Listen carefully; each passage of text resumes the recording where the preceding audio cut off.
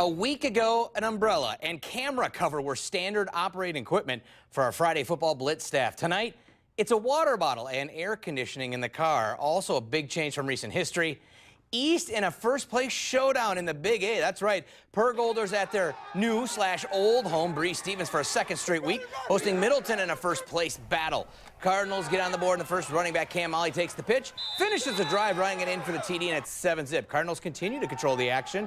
Quarterback Brennan Schmidt throws a perfect strike from 17 yards out to Sam Lonstein for the score. It's the second of the game, but the Purgolders finally getting some traction in the second quarter. Keontae Shad connects with receiver Kenny Jones, putting East deficit, cutting the deficit to just eight.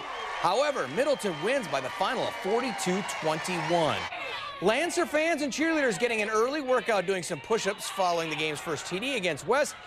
But the Lancers up 7-zip on the ensuing kickoff. The Regents' Terrence McNeil Jr. takes the short kick and he gone. Talk about turning on the Jets. Down the sideline, takes it to the house 7-6. West defense brings the heat. Davion James Ragland on the carry, gets rocked by a trio of Regents, knocking his headgear clean off.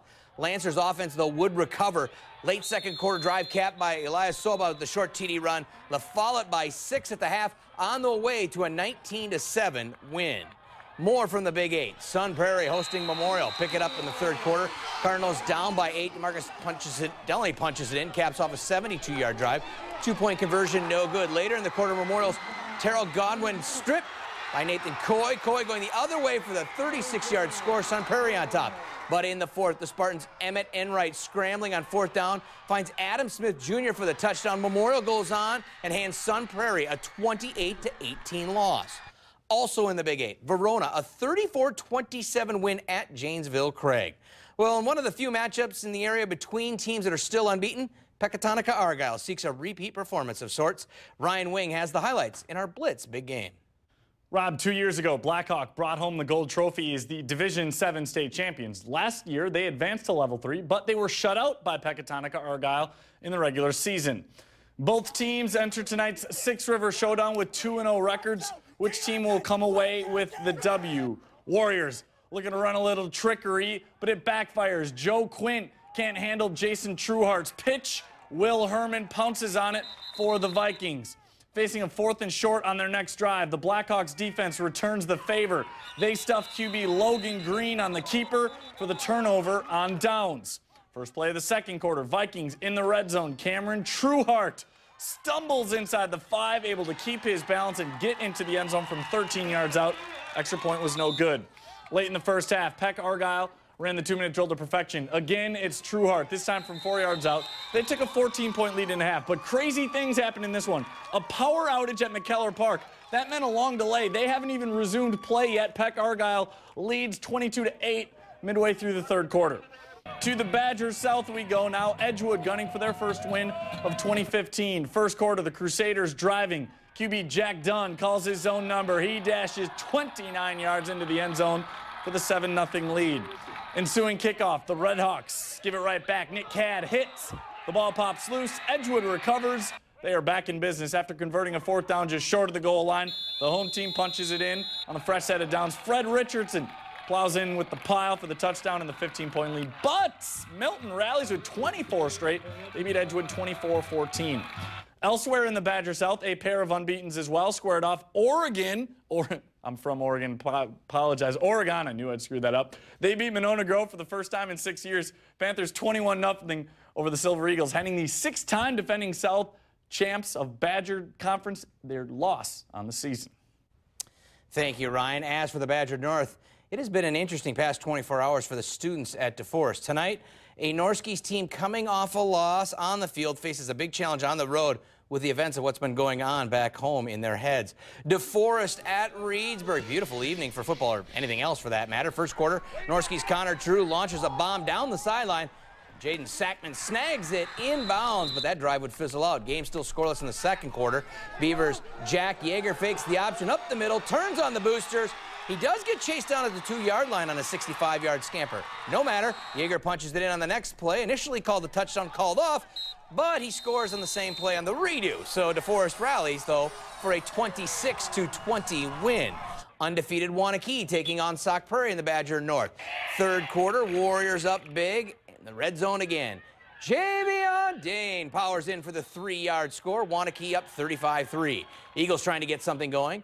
Austin Powell takes the snap, makes a couple of moves, and Powell takes off down the far sideline. Sauk finally gets into the end zone. Hey, it's the first TD Waunakee's given up this season, but the Warriors, as they usually do, respond. Nate Carter connects with Hans Hepner for the score. Waunakee wins 42 to 10.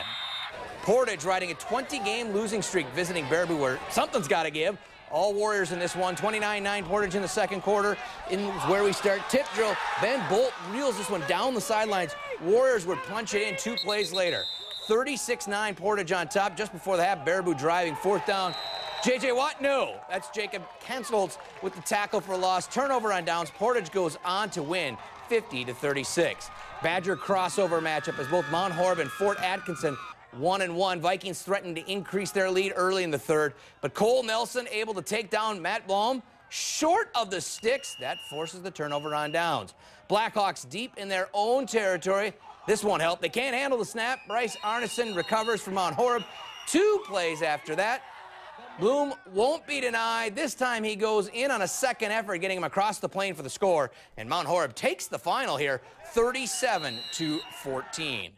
Where can you find a matchup between a Puma and a Vanguard, or a program that's been a power and one that's fighting to field a full team? Actually, all in the same place tonight. And our Marissa Silvas joins us now with those highlights. Hey, Rob. Entering tonight, every team in the Capital North Conference was undefeated, including Poynette. The Pumas had a pair of nail-biting one-point victories in the first two weeks, and tonight they hosted Capital South's Wisconsin Heights. The Poynette band there, of course, pumping up the crowd. Scoreless in the first quarter. Ryan Hutchinson pitches it off to Tanner Kerr. Kerr jumps over a defender and gets into the end zone. Pumas up 7-zip. But the Vanguard's driving late in the first. Tyler Parman gets the ball punched out by Jacob Burke, and Tanner C's right there to recover it for Poynette. So first play of the second quarter, Pumas Kerr gets the handoff, and he does the rest. 43 yards to the house. Poynette wins big 44-6 the final. In a non-conference matchup, Waterloo hosted Wisconsin Dells. The Dells looking for their first win. Scoreless in the second. Wyatt Gallitz calls his own number and takes it in from a yard out. A two-point conversion makes it 8-0 Pirates on top. Later, Gallitz goes to the air, but off the deflection, William Klatch picks it off for the Dells.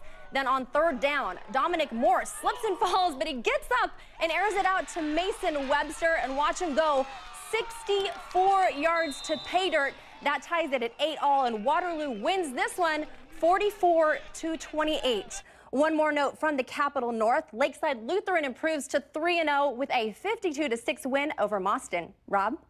Thank you very much, Marissa. That's it for the Blitz, but there's much more to come this night for you in sports. If the Badgers want to roll with the tide tomorrow night, well, they'll likely need to turn back the clock to the days of not so long ago. A preview of the season opener when we return.